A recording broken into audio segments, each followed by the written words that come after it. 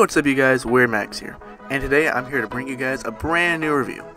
Every once in a while there's a game that looks amazing but just doesn't come to the US or the UK, and every once in a while that game will have a fan base of people who desperately wants to play that game. And this is exactly what Pokken Tournament for the Wii U is. Originally a Pokemon and Tekken mashup that was a Japanese arcade game exclusive, it was recently nationalized and brought to consoles here in the US. So how exactly is this mashup? Let's dive right in and find out, but first let's take a look at what we see inside when we unbox this game.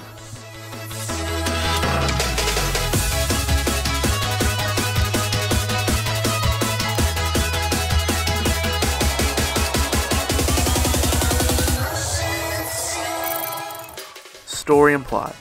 There isn't much of a plot to this game honestly, but this game takes place in a brand new region called Ferrum and in this region you can battle against Pokemon in a style just like the Pokemon anime. The major things about this game that brings new to the Pokemon universe is the addition of the brand new Shadow Mewtwo. He's very similar to Shadow Lugia from XD Gale Darkness in the concept.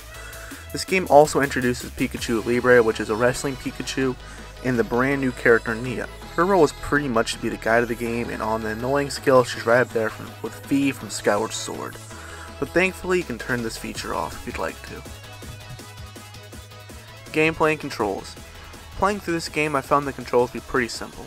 You have your combos, your heavy attacks, your grabs, and your basic attacks. Although this game can be played with the gamepad, Wii Remote, Pro controllers, and the limited edition fight pad, I recommend playing with a Pro controller unless you are lucky enough to get the limited edition fight pad. For the gameplay portion, as I continue to play through the game, it feels very smooth and runs at a really nice speed. No glitches or frame rate issues at all, which is pretty shocking sometimes with the amount of random crap that can happen on the screen. Another gameplay addition that I really enjoy are the synergy burst attacks.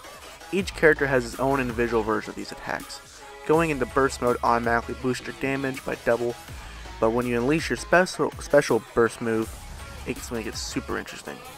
Some Pokemon turn into the Mega Evolutions while others just do super crazy attacks just like a Final Smash or a Fatality in Mortal Kombat. Graphics. There honestly isn't much to say about the graphics except that they're amazing. I love the amount of detail put in each character, and the entire game looks like a cutscene, and that's a great thing. Character roster. Now with the character roster, we have a pretty decent amount of Pokemon here to choose from. We have Blaziken, Pikachu, Lucario, Gardevoir, Pikachu Libre, Braixen, Machamp, Gengar, Sceptile, Chandelure, Suicune, Weavile, Charizard, Garchomp, and Shadow Mewtwo, but I'll get to him in just a few minutes. Game modes. The game modes are split up into several organized sections in the shape of a map for this region.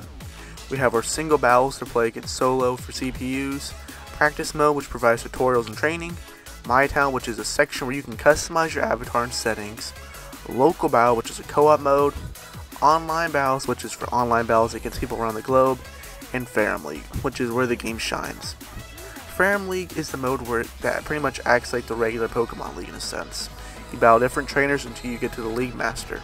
Once you defeat the League Master, you go on to the next league, all the way and defeat all of them. Throughout this mode, you discover the mysteries of Shadow Mewtwo as he continues to pop up. Online. The online in this game was pretty spot on. Unlike Super Smash Bros, I haven't had any lag experience at all. There's a mode within the online section for friendly matches and one for ranked matches.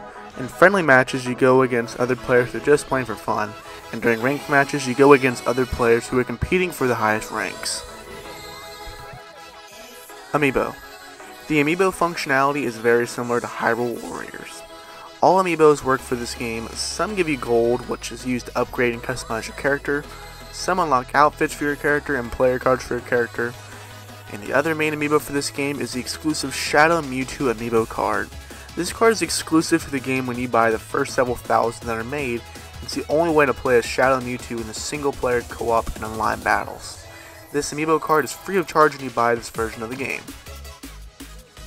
Unlockables. This game has plenty of unlockables such as character player cards, item to customize your character, supporting Pokemon teams to help you along in battle, different stages to unlock as well. The main disappointing factor of this game is that besides Shadow Mewtwo, there isn't a single character to unlock at all. I feel like we have a pretty decent roster for a start of a potential spin-off series, but it would be nice to have a little bit more Pokemon such as Greninja and Infernape, Hitmonchan, and even Hitmonlee as well. Justice the game did. This game really provided a refreshing taste to this beloved franchise in my opinion. For years I actually wanted to be the Pokemon fighting instead of commanding them to fight in the games like Pokemon Stadium. I wasn't too much into the 3DS main series Pokemon games, so this made me really fall in love with the series again, with its smooth fighting mechanics, addicting battles, and leveling system. Justice that could have been done. I really felt like this game needs a few more characters honestly. We got some pretty interesting ones, but they just aren't enough because we have no idea if this game will be getting a sequel or not. If the game does end up getting a sequel, then the lack of characters will be more understandable. I also feel like this game needs some different unlockables as well. We got a pretty good amount, but I think something more unique and simple would be a really nice touch of this game. Something more like an in-depth character customization. Also, the amiibo functionality better for the Pokemon amiibo. Instead of all the random customization pieces in gold, it'd be pretty interesting and cool to see a special move or unique character piece based on that certain Pokemon amiibo. But overall, not too much to complain about this game. Final verdict. This game is great. The battle style is really fun, the idea of the game is a dream come true, everything runs super smooth, and they even managed to get some fan favorite Pokemon while adding new characters without making the game seem really pointless. I give this game a 9.3 out of 10 and I highly recommend picking this game up if you're a Pokemon fan or overall Wii U owner. It's a nice and more serious change from Super Smash Bros. and it's overall really enjoyable. I hope you guys enjoyed this review because I had a blast making it for you guys.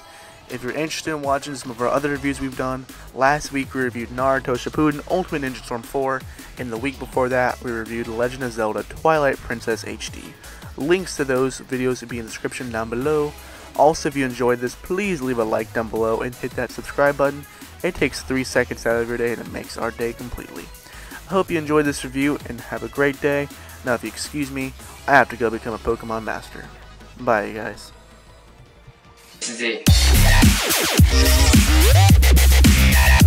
Awesome.